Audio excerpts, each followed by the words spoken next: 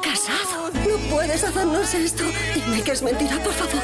Sé que en el fondo deseas que yo sea feliz. No quieres que me pase la vida encerrado en nuestra casa sin amor, Kulban.